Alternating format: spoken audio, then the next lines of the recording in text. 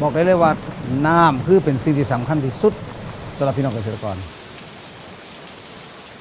คนที่เฮ็ดการเกษตร บอกว่าคันเห็นฝนตกลงมา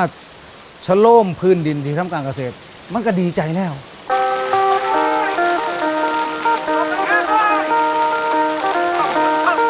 ดีใจแบบชนิดว่ามันตื่นเต้นยิ่งกว่าถูกหวยอีก คนที่มีหัวใจเกษตรเขาจะเขาจะมีความความรู้สึกเป็นแบบนี้ เอาง่ายๆคือน้ำฝนหยดหนึ่งลดต้นไม้หรือลดหญ้าเนี่ย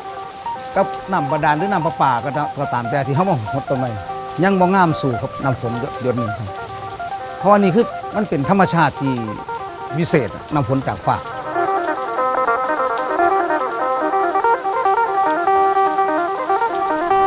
การกลับบ้านมาเมื่อนี้ของผมครับ ไม่วินพรครับ กลับมาสู่เรื่องของวิถีชีวิตเกษตร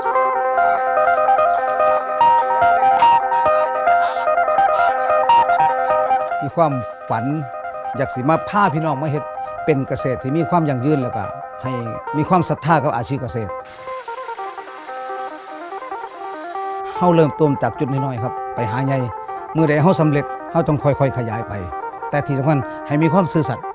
ต่อเจ้าของมีความซื่อสัตย์ต่อผู้บริโภคเขาเรียกว่าหาวัตถุดิบอยู่ในพื้นที่ที่ง่ายที่สุดในการเกษตร ต้องเฮ็ดมันปลอดสารปลอดภัย ให้มันใจกับผู้เพิ่นที่บอกซื้อของเขาไปอยู่ไปกิน